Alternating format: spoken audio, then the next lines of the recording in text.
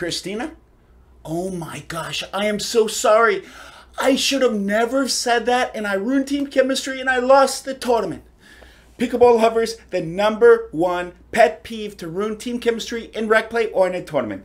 Pickleball lovers, please leave your comments, please subscribe, and don't forget to have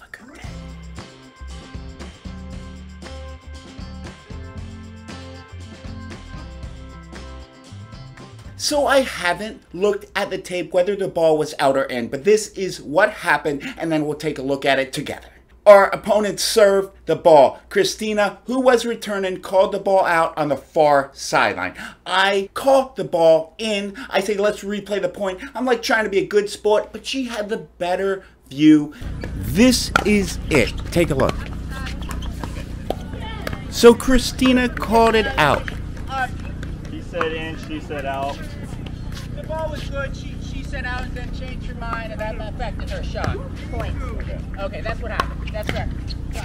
And why did I say that? Because I didn't have a good view. I tried to give Christina a paddle slap. She's not really mad at me, right? But she's not happy because she knows it's out in her mind.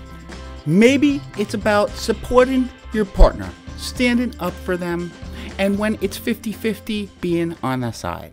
So she had a better percentage chance of calling the ball in or out. And when I overruled her, I killed team chemistry as well. Even if she's not really mad at me, subconsciously, it does ruin trust in a relationship. So we took a closer look at this ball, but I don't even care about the outcome. I care if your partner in rec play in a tournament, if they have the better view, the better angle at the ball, do not overrule them ever. When you overrule them, it ruins team chemistry, it ruins trust, and everyone knows I can do this pretty easily. Pickleball lovers, please leave your comments, please subscribe, and don't forget to have a good day.